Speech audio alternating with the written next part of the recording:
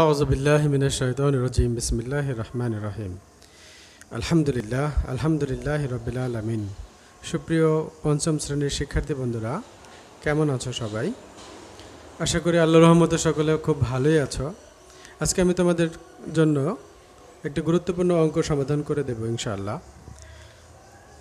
তোমরা লক্ষ্য করে দেখো অনুশীলনী তিন, পঞ্চম শ্রেণি অনুশীলনী তিন অঙ্ক নম্বর দুই। আমি তোমাদের শুরুতে অঙ্কটা একটু পড়ে দেই। বারোটি প্লেট এবং বিশটি কাপের মূল্য একত্রে তিন হাজার নয়শত বিশ টাকা। বারোটি প্লেট এবং বিশটি কাপের মূল্য একত্রে কত? তিন হাজার নয়শত বিশ টাকা। একটি কাপের মূল্য একশো পঁয়তাল্লিশ টাকা। একটি প্লেটের মূল্য কত? সুপ্রিয় শিক্ষার্থী বন্ধুরা, এখন আমরা এই অঙ্কটি সমাধান করে দেবো ইনশাআল্লাহ। তো অঙ্কটা আমি তোমাদের সামনে পড়লাম। এখানে বারোটি প্লেট এবং বিশটি কাপের মূল্য দেওয়া আছে একসাথে। একটা কাপের মূল্য দেওয়া আছে। তো একটা যেহেতু কাপের মূল্য দেওয়া আছে, একটি কাপের মূল্য, সেখান থেকে আমরা অঙ্কটা শুরু করবে যে এখান থেকে আমরা অঙ্কটি শুরু করব। তাহলে তোমরা প্রথমে লিখবে,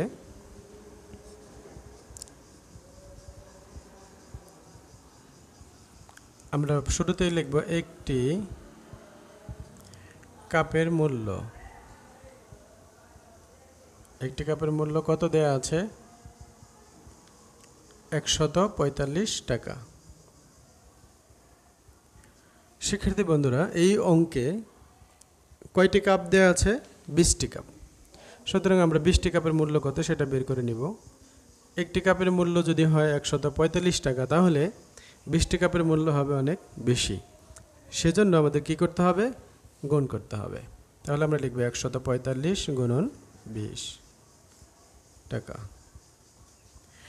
কত হইল, আমরা একটু সাইডে রাফ করে নিব। একশো পঁয়তাল্লিশ গুণন বিশ।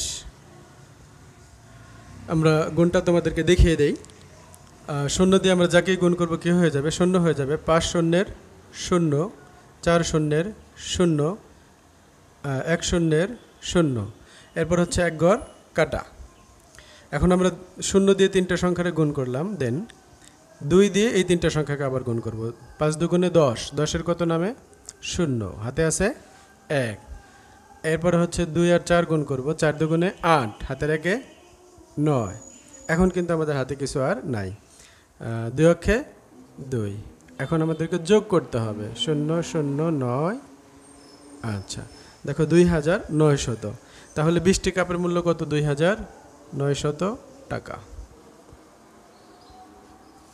এখন আমরা এই লাইনটা লিখব। আমরা লক্ষ্য করে দেখো, বারোটি প্লেট।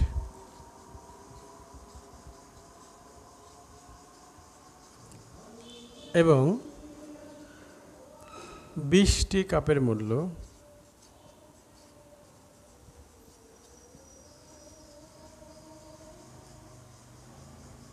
একত্রে কত দেওয়া ছিল? তিন হাজার নয়শত বিশ টাকা। তিন হাজার নয়শত বিশ টাকা। আমরা একটু আগে বের করলাম বিশটি কাপের মূল্য। বিশটি কাপের মূল্য আমরা এখান থেকে বিয়োগ করে দেব। বিশটি কাপের মূল্য আমরা কত পেয়েছিলাম?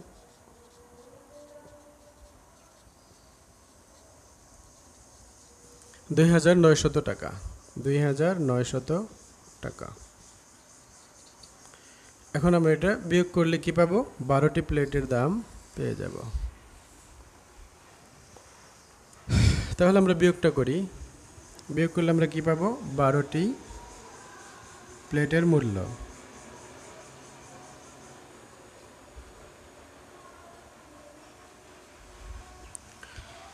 আমরা বিয়োগ করি, শূন্য শূন্য বিয়োগ করলে শূন্য এই দুই নেমে যাবে। নয় নয় মিলে গেলে শূন্য। তিনটা থেকে দুইটা চলে গেলে একটা থাকে। এক হাজার বিশ টাকা, এক হাজার বিশ টাকা। প্রিয় শিক্ষার্থী বন্ধুরা, তাহলে আমরা পেলাম বারোটি প্লেটের মূল্য হচ্ছে এক হাজার বিশ টাকা। আমাদের কাছে জানতে চেয়েছিল একটি প্লেটের মূল্য কত? সুতরাং আমরা লিখব একটি প্লেটের মূল্য, একটি প্লেটের মূল্য বারোটি প্লেটের মূল্য হচ্ছে এক হাজার বিশ টাকা। সুতরাং একটি প্লেটের মূল্য কি হবে? কম হবে। তোমরা জানো কম হলে কি করতে হয়? ভাগ করতে হয়। তাহলে আমরা ভাগ করব এক হাজার বিশকে বারো দিয়ে। কত দিয়ে? বারো দিয়ে। এত টাকা। তাহলে আমরা এটাকে একটু ভাগ করিয়ে দিচ্ছি। তোমরা এই পাশে দেখো। এক হাজার বিশ আমরা ভাগ করব বারো দিয়ে। তো প্রথমে আমরা যদি এই বারো দিয়ে এককে ভাগ করতে চাই, আমরা কিন্তু ভাগ করতে পারছি না, কারণ বারো হচ্ছে একের চাইতে বড়। যদি শূন্যটাকেও সাথে নেই, তাহলে হলো দশ।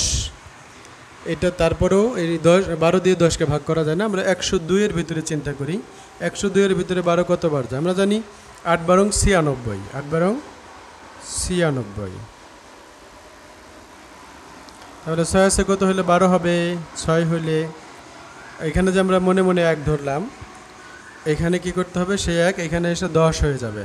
হ্যাঁ নয়ের সাথে এক যোগ হবে দশ। এখানেও আবার বিয়োগ করতে পারছি না। সেক্ষেত্রেও কী করতে হবে? মনে মনে এক ধরতে হবে। তাহলে দশ, এখানেও ধরলাম। দশ দশ মিলে গেলে কত হইল? শূন্য। আমরা বাম পাশে শূন্য নামাবো না। এরপরে এইখানে যে আমরা দশ ধরলাম, সে এক এখানে এসে মিলে যাবে। অর্থাৎ দুইটা শূন্য হবে। আমরা জানি বাম পাশে শূন্যের কোনো দাম নেই এই জন্য এই পর্যন্তই থাকবে। আমরা শূন্য নামাবো না। এই শূন্যটাকে কেটে আনলাম। এখন বারো অক্ষে বারো, পাঁচ বারো ষাট। পাঁচ বারো ষাট। প্রিয় শিক্ষার্থী বন্ধুরা, তাহলে এক হাজার বিশকে যদি আমরা বারো দিয়ে ভাগ করি, কত হয়? পঁচাশি। পঁচাশি টাকা। আমরা লিখতে পারি উত্তর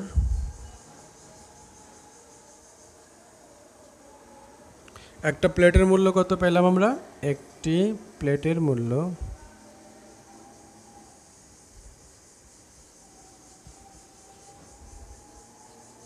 পঁচাশি টাকা।